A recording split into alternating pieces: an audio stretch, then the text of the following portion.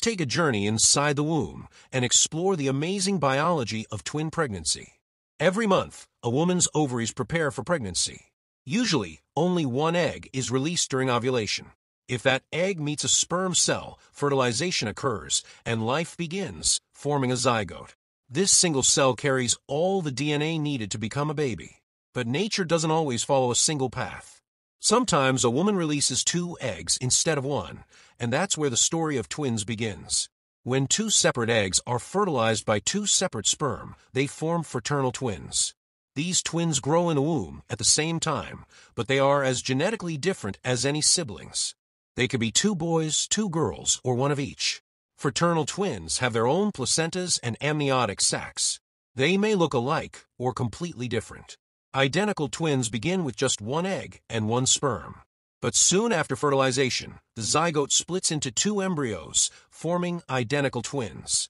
They share the same DNA, the same gender, and often look nearly identical. The timing of the split is important. If the egg splits within three days after fertilization, each twin develops their own placenta and amniotic sac. If the split happens later, they might share a placenta, and sometimes even the same sac.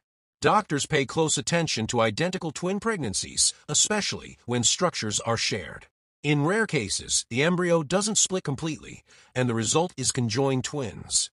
They are physically connected and may share organs. These cases are extremely rare and complex. There are also mirror image twins where the split happens later and one twin becomes a reversed reflection of the other. Their hair whorls, handedness, and even organs can be mirrored. So, what increases the chances of having twins? Fraternal twins are more likely when there's a family history of twins, the mother is over 30, has had multiple pregnancies, or is using fertility treatments.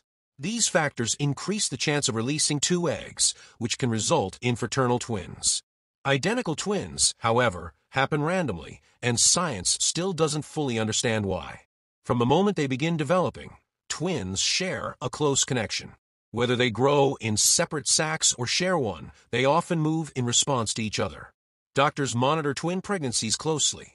There's a higher risk of complications, so regular ultrasounds and prenatal visits are important. Some twins grow at the same rate.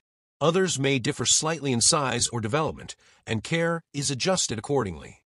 But even before birth, their bond begins with touching, kicking, and sensing each other.